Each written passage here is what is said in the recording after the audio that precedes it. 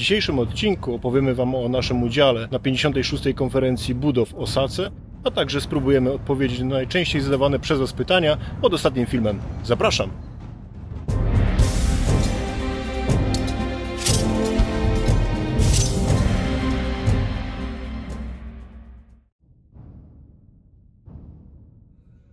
Trenujemy staropolską sztukę walki palcetami, a także tak zwaną polską szablą husarską i sprawia nam to bardzo dużo satysfakcji.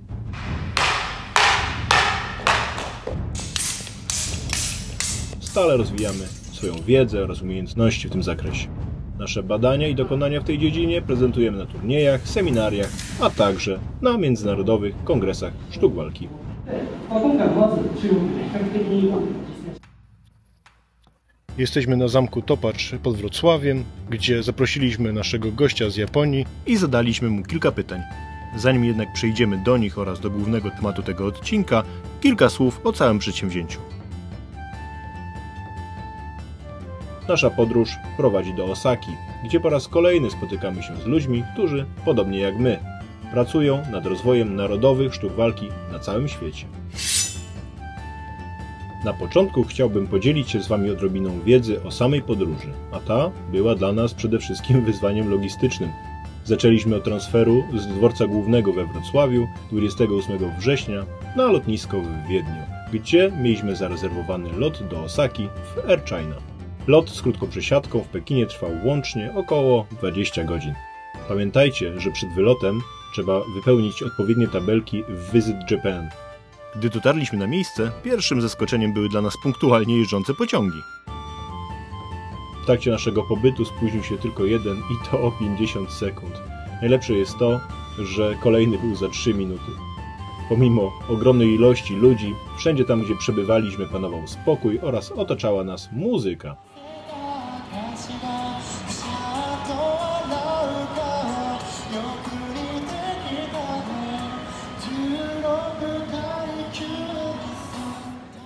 Mam nieodparte wrażenie, że wszyscy żywią do siebie ogromny wzajemny szacunek, co czyni środki lokomocji, centra handlowe, ulice, sklepy miejscem odpoczynku oraz skupienia.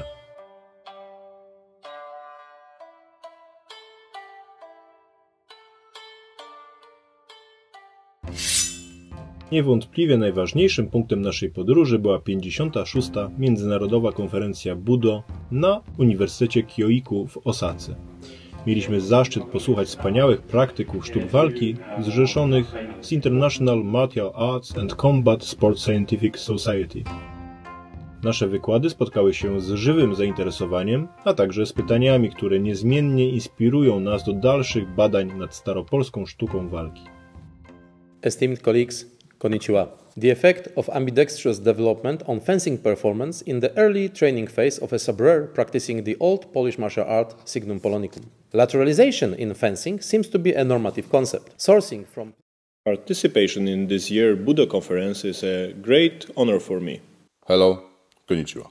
I would like to introduce you to some techniques from the Old Polish martial art Signum Polonicum at the first training level student. I'd like to share with you my observations on certain similarities between the both systems. Konferencja trwała dwa dni. pamięci. E, Kyoiku. To właśnie tutaj poznaliśmy Japończyka, który także jest fanem staropolskiej kultury, naszych strojów narodowych oraz szabli. Czołem!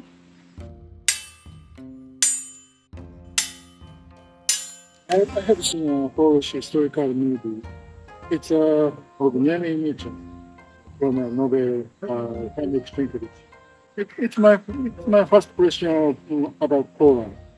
Satoshi przyjechał do nas z Tokio i jak na sarmatę przystało, przywdział swój srebrem zdobiony żupan wraz z eleganckim pasem słudzkim z persjarni zambrzyckich. Po pierwszym treningu przyłączył się do wrocławskiego klubu Signum Polonicum i niedawno awansował na stopień szkoleniowy uczeń. Korzystając z okazji, że Satoshi jest dzisiaj z nami, yy, zadaliśmy mu pytanie, czyli przede wszystkim czym jest katana oraz do jakiej grupy broni białej yy, należy według niego ją klasyfikować.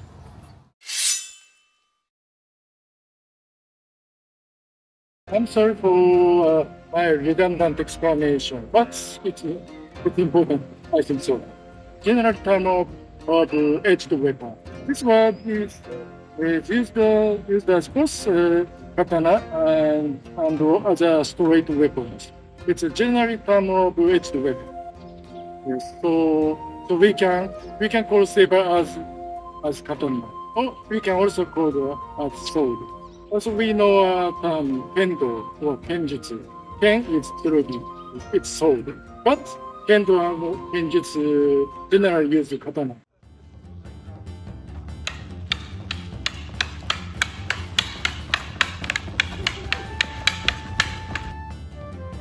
Stale rozwijamy swoje umiejętności podczas wspólnych lekcji stacjonarnych i online i cieszymy się, że nasza staropolska sztuka walki zrzesza coraz więcej pozytywnie zakręconych ludzi. A jak już jesteśmy przy wywiadach, myślę, że warto wspomnieć o wizycie naszego gościa z Warszawy. Jest to Mateusz Lew, twórca Akademii Podstaw. Fantastyczny człowiek. Posłuchajcie, co Wam ma do powiedzenia. Witam wszystkich, nazywam się Mateusz Lew. Reprezentuję taki ciekawy projekt i koncepcję o nazwie Akademia Podstaw. Dowiedziałem się, że, że jest szkoła sztuki polskiej, która jest respektowana przez International Budo Federation i niewątpliwie jest to dla mnie, człowieka, który jest związany od dziecka ze sztukami walki, jest to bardzo ważne, ponieważ jeszcze się nie zdarzyło, żeby ktoś z Polski był na ty z profesorami, z mistrzami sztuk walki, na przykład w Japonii od y, karate, judo y, czy aikido. Y, Jest to tam ogromna kultura, jest to darzone wielką stymą. E, Nam zostało to zabrane. Polacy oczywiście niewątpliwie posiadali swoją sztukę walki, niewątpliwie posiadali swoją niesamowitą umiejętność e, obcowania z bronią. Natomiast przez ostatnie 200 lat sukcesywnie zabierano nam e, tą tożsamość, która budowała nasz charakter i naszą miłość do ojczyzny. I także chęć do obrony jej. Zabrano nam e, sztukę walki, pasy kontuszowe, konie. I dzisiaj spotykamy się z takim dość dziwnym faktem, że kiedy pytam dzieciaki na zajęciach, czym jest, e, czy ktoś zna katanę, to wszystkie dzieci podnoszą rękę do góry, a kiedy pytam się, czy znają karabellę polską, to nikt nie podnosi ręki, nikt nie wie, e, czym jest e, karabella, czym jest szabla. Kiedy chodzę w pasie kontuszowym, ludzie pytają mnie, czy jestem Ukraińcem, czy jestem z Kaukazu, a przecież to jest element naszego stroju narodowego. Szkoda tylko, że ta forma spędzania czasu nie jest tak popularna w Polsce jak na przykład japońskie sztuki walki, takie jak aikido, karate czy judo. No cóż, wierzę, że jeszcze wszystko przed nami. Wróćmy jeszcze na chwilę do Japonii, bo to nie koniec opowieści o naszej podróży.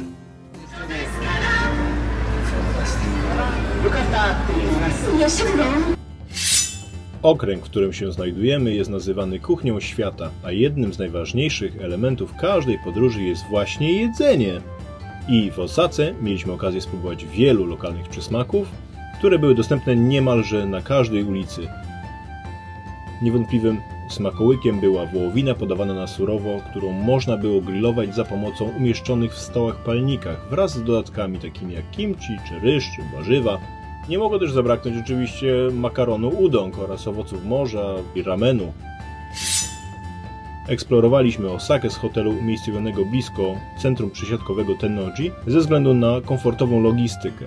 Na miejscu czekała nas przyjazna atmosfera oraz surowy japoński wystrój pokoi, a spaliśmy na słomianej macie tatami na poduszkach wypełnionych pociętymi plastikowymi rurkami lub grochem.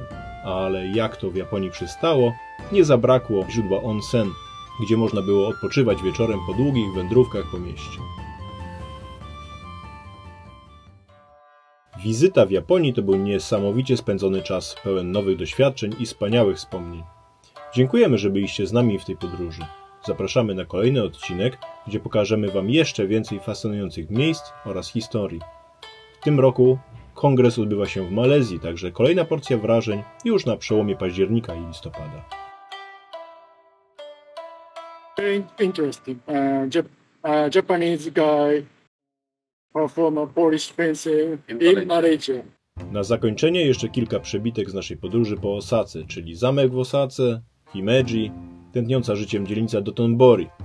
Japonia to bez wątpienia jeden z tych krajów, które koniecznie musicie zobaczyć. Oczywiście nie zapomnijcie subskrybować naszego kanału i kliknąć dzwonka, także dać łapki w górę, aby Was nic nie ominęło. Zapraszam również Was do śledzenia naszych portali społecznościowych na Facebooku, Instagramie oraz TikToku.